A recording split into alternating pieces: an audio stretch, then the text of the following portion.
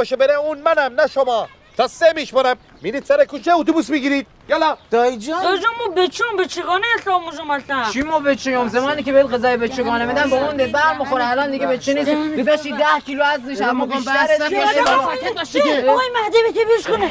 ای وای اینا کجا پیدا شد؟ تو قیمت زمین الان تو بمبئی چنده آقا صادق اینا خوبن من از این جبار سینگ خوشم نمیاد یا خودتو بزن با اون را یا این را مسافره نمیره بار بدبخت کرده راستی مادر و مادر تو سلام رسون سلام سلام سلام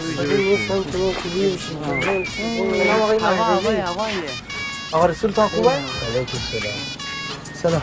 بعد آقا مهدوی سلام. سلام داره میره سفر ولی نه خیر داریم میریم پیکنیک. چطور؟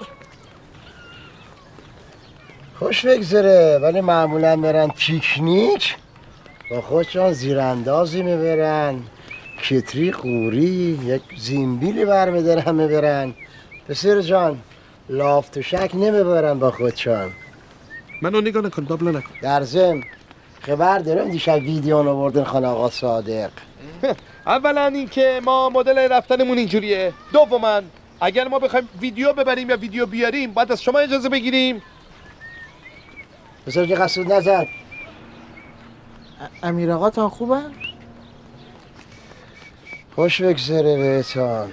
ولی بالاخره آقا صادق میه اینجا.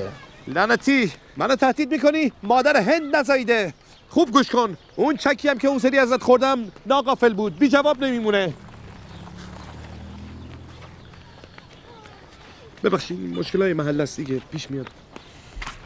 مسعود چند چطوره؟ باری کلا دایی باری کلا. بالاخره بعد یکی جلوش وای میستد دیگه. خوشم آمد